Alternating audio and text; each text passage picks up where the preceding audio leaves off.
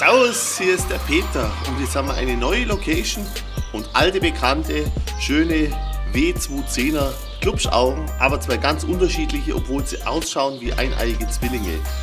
Nach dem Intro ein paar Details dazu.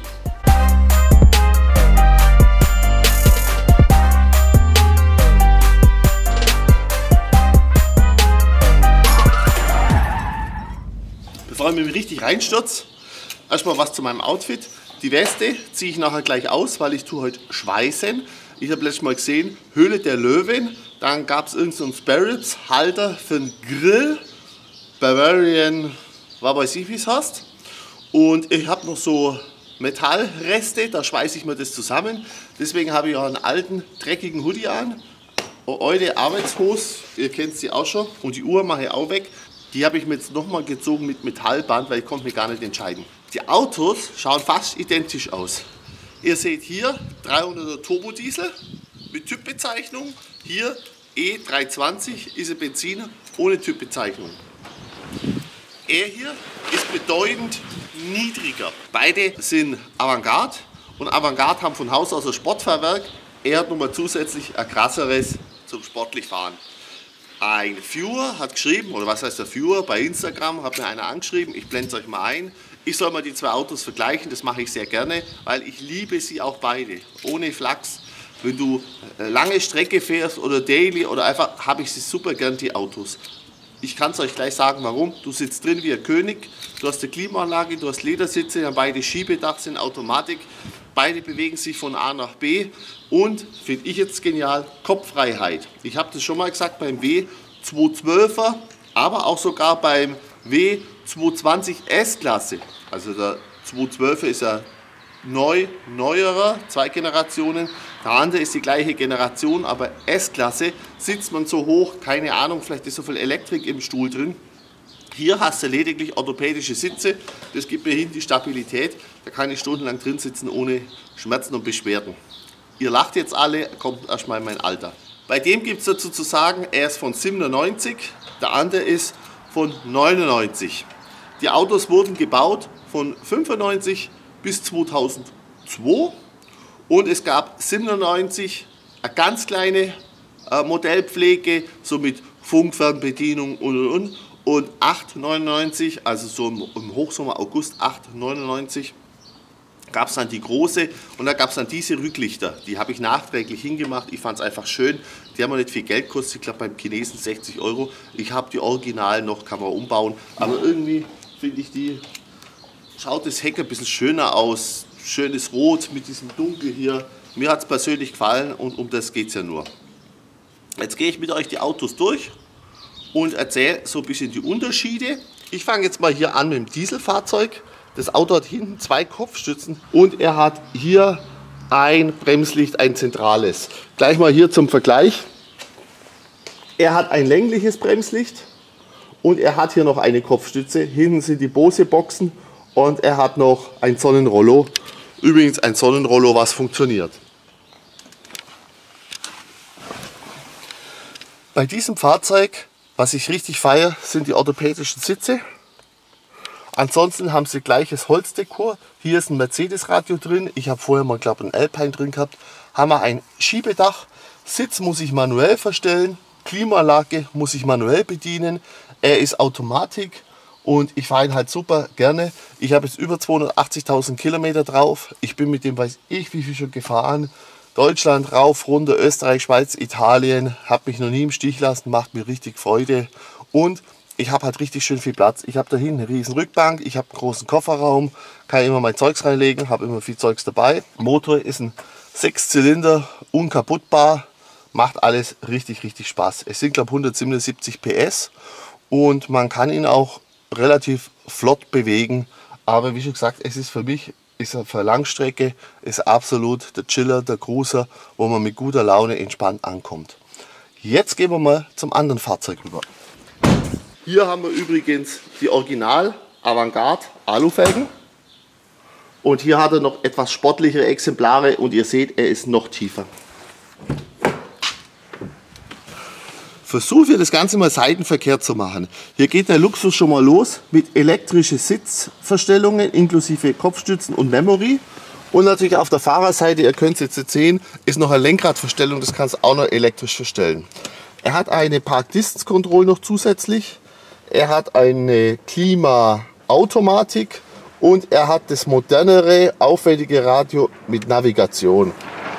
Habe ich noch nie verwendet, aber er hat es halt. Übrigens habe ich auch noch nie verwendet, hat aber auch eine Standheizung verbaut. Dann haben wir hier ziemlich ähnlich, was noch dazu kommt. Also wir können noch den, den Kofferraum öffnen, können wir hier auch. Wir können Rollo bedienen, Sonnenrollo. Und wir können hier ähm, Park Distance ausschalten. Das Holz ist stellenweise ein bisschen heller wie beim anderen und ist hier schon so ein bisschen gebrochen. Übrigens, ich habe gestern den Achim getroffen den Achim aus Horb, der das ja bei Mercedes professionell gemacht hat und jetzt professionell für alle möglichen Oldtimer anbietet, dass er die Hölzer macht. Den möchte ich demnächst im Frühjahr, Sommer mal wieder besuchen. Dann bringen wir mal was mit, dass ihr euch mal ein Bild machen könnt, wie es vorher ausschaut, wie es nachher ausschaut. Hier ist es in meinen Augen eher Gebrauchsgegenstand. Ich sehe den jetzt nicht irgendwann mal im Mercedes-Museum drin. Deswegen stört mich das auch nicht so, aber ich wollte nur sagen, man kann sowas auch super veredeln. Hier haben wir auch die Sitze, Leder mit Lordot. Die Autos schauen fast identisch aus. Gell? Man muss aber dazu sagen, dass der hat einen Grundpreis von 85.000 D-Mark. Und wenn ich das so zusammenrechne, Avantgarde, glaube ich, 4,5, 5, dann die Standheizung, dann die Klimaautomatik, dann das Navi. Also ich denke mal, der hat schon deutlich über 100.000 kostet. Vielleicht 105, vielleicht 108, das ging bei Mercedes immer super schnell. Ich freue mich, dass ich ihn habe. Ich habe einen schönen, ich habe einen, mit dem ich richtig Spaß haben kann. Und ich habe aber auch keine so Kopfschmerzen mit riesen Unterhaltskosten. Und ich habe hier das Gegenüber noch, mit dem ich halt so richtig vor sich hin zuckeln kann und wo ich halt die großen Kilometer fahre. Das Lenkrad schaut noch ein bisschen moderner aus. Schlüssel mit Fernbedienung haben es beide die identischen. Und hier ist eigentlich auch alles gleich. Hier gibt es einen Cupholder dafür. Und ansonsten kann man das Getränk einfach nur reinstellen. Finde ich auch sehr gut. Und hier haben beide noch identisch ein Fach, wo man alles Mögliche rein kann. Also von der Innenraumaufteilung finde ich es bedeutend besser wie den Nachfolger, den Nachnachfolger und was sonst alles von Mercedes gebaut worden ist. Was ich noch ganz ordentlich finde, das sind hier diese Radläufe. Bei beiden Autos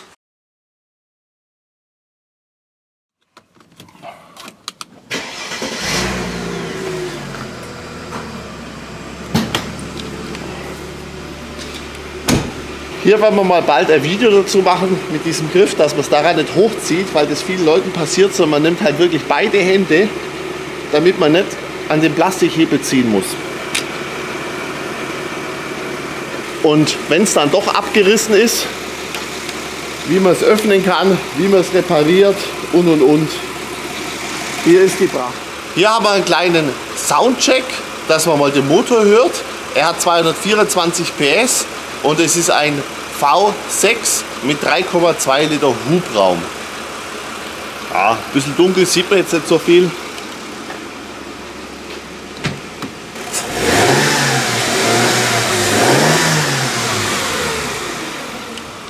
Aber macht Spaß, kann man ganz flott damit fahren. Beim Diesel haben wir Reihe 6 Zylinder und natürlich einen großen Turbolader. Und hier schaut die Geschichte ein wenig anders aus. Ich gehe hier rein, muss warten, bis dieses Licht aus ist. Vorglühen heißt das Zauberwort. Kennt man heute nicht mehr so, das war aber damals so.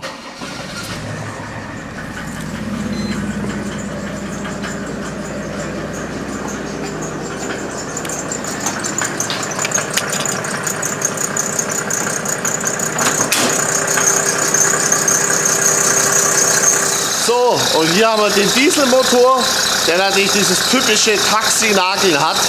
Außen ist es jetzt laut, aber innen ist es ganz angenehm. Ich gebe mal ein bisschen Gas.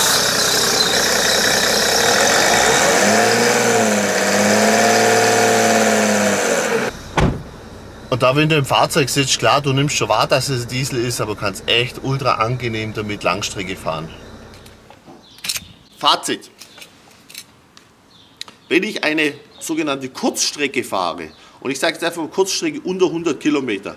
Ich fahre vielleicht von München nach Salzburg oder von Salzburg nach München oder irgendwo im Gäu rum und ich fahre Landstraße, klar auch Autobahn, dann feiere ich den total, weil du kannst einfach ein bisschen ballern.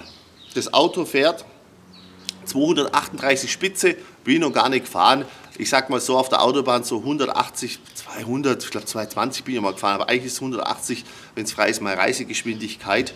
7,7 äh, Sekunden brauche. Heute wird man lachen, aber durch dieses Fahrwerk kann man das wirklich flott fahren und muss auf der Landstraße nicht in jeder Kurve runterbremsen. Da fährt man natürlich auch nur 100 oder vielleicht ein ganz kleines Mühe drüber, äh, aber nur so, dass es erlaubt ist im Toleranzbereich. Brauchen tut er natürlich 10 Liter und wenn man ballert, braucht natürlich auch 12 und mehr Benzin. Hier schaut die Geschichte schon anders aus. Er fährt bloß 220. Ich, das ist für mich die Reiselimousine, die ist so mit über 100 Kilometer. Äh, das ist auch so, weiß ich, wenn du mal richtig nach Berlin hochfährst oder wenn du hier äh, nach, nach Italien runterfährst oder es ist einfach ein perfektes Auto. Ich habe keine Kopfschmerzen, dadurch, dass ich irgendwie jetzt ein teures Auto hätte oder ein anfälliges Auto. Ich habe keine großen Betriebskosten, aber ich sitze drin wie ein König, er bringt mich von A nach B. Und was die Leute von außen, die reinschauen oder aufs Auto gucken, über mich denken, das ist mir völlig egal. Wichtig ist, wie es mir geht, ich sitze im Auto drin. Der andere braucht 8,9 Sekunden, also ein bisschen über eine Sekunde mehr. Es ist gar nicht so viel, weil der Turbodiesel ist halt wirklich Bombe. Übrigens, den kannst du mit 7,9 Liter Diesel im Schnitt betreiben, aber ich habe es auch schon gemessen, ohne Bordcomputer, hat er auch gar nicht. Ich habe den schon mit 6, ich glaube 6,8 waren oder sowas gefahren und den kannst du fahren mit Diesel. Theoretisch kannst du den aber auch mit allem fahren. Alles, was schmierig ist. Ob das Pommesöl, Sonnenblumen, Rapsöl, altes Öl. Es muss nur ein bisschen schmierig sein. Er verbrennt das alles. Aber ihr kennt es ja eh. Das ist einfach wie so ein Taxi. Es ist eine beruhigende Nähmaschine, die so vor sich hin tackert. Und wenn du durch die Ortschaft cruisen tust, dann geht die Drehzahl unter 1000 Umdrehungen runter und der ganz, ganz smooth tackert der vor sich. Es ist echt beruhigend, es ist echt angenehm. Ne? Hier flottes Fahren, sportlich genießen und hier einfach Strecke ballern und Kosten sparen. Ich weiß auch nicht, wie man günstiger äh, von A nach B kommen könnte, wenn man Langstrecke fährt. Und übrigens, ihn tanke ich einmal voll und fahre meine 1000 Kilometer. Und wenn ich jetzt mit dem Tesla unterwegs bin oder mit einem anderen E-Auto, dann kann ich alle 300, 400 Kilometer erstmal dreiviertel Stunde oder vielleicht sogar zwei Stunden Pause machen. Also und muss dann vielleicht sogar noch suchen anfangen, wo es hier was zum Laden gibt. Das habe ich hier alles gar nicht. Wenn ich es mir wünschen könnte, würde man heute immer noch so etwas ähnliches bauen, würde man vielleicht anbieten, dass man günstiger Rapsöl, das vielleicht hier angebaut ist, eintankt oder man würde alte Plastikflaschen, die kannst du irgendwo so, ich weiß jetzt nicht wie das heißt, auf 400 Grad erhitzen. Da darf kein Sauerstoff dazukommen, sonst passiert da was. Es gibt jetzt so eine Anlage auch mit, mit Altreifen irgendwo in Norddeutschland und dann wird es destilliert und dann kommt halt Öl, Diesel, sowas raus. Also man könnte schon wirklich tolle Sachen machen. Wenn man dann noch gute Filter hinbaut, dann kommt kein Schadstoff raus. Du kannst es bestimmt optimieren, dass du unter 6 Liter kommst. Also man könnte, wenn man wollte, könnte man da schon richtig was draus machen. Ich bin super dankbar, erstmal für die Leute, die ich gestern getroffen habe äh, auf der Retro Classic in Stuttgart. War mehr wie geplant, war total schön. Auch vielen Dank für die, die mich einfach spontan angebatscht haben. Und ich bedanke mich natürlich ganz arg für den, der mir das Thema vorgegeben hat, weil dafür erzähle ich richtig gern. Muss ich gar nicht so oft auf mein Skript gucken, obwohl ich natürlich immer ganz gern eins habe. Wer sich über sowas lustig macht, hey, ich bereite mich halt einfach ganz gern vor und ich gehe am Ende einfach nochmal durch, ob ihr alles erwähnt habt. Und dann bin ich für heute raus und wir sehen uns bald wieder mit dem nächsten Thema. Ich glaube, ich habe da schon was Schönes in der Pipeline.